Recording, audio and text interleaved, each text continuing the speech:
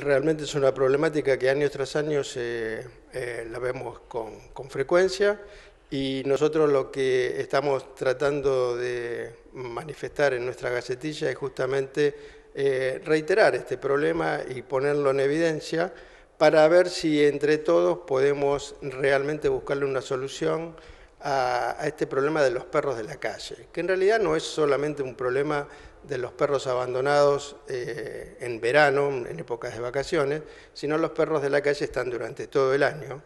Eh, y el colegio lo que trata de instalar como mensaje, aprovechando la época de vacaciones, es justamente evidenciar esta problemática que es una problemática social, en donde la sociedad en su conjunto tiene que darle una respuesta definitiva a esta situación.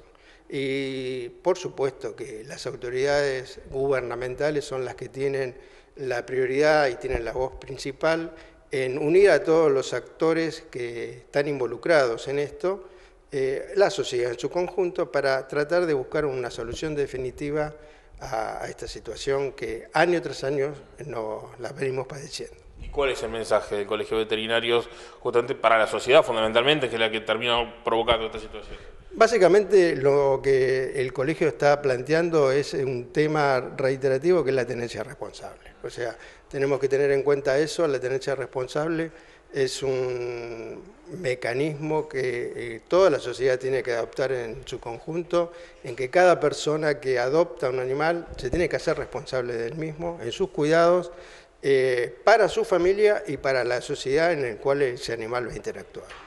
Imagino que el colegio lo que recomienda en situaciones como esta es el tema de la castración, ¿no? que, lo que es el perro, donde hay muchos perros callejeros, donde hay barrios donde deambulan mucho los perros, aunque tengan dueños, digamos, que estén castrados. Por supuesto, la castración es un recurso de lo, que es la tenencia responsable.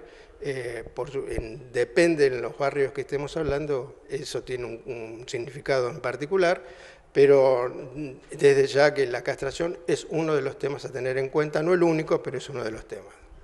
¿Cuáles son las otras situaciones que se dan?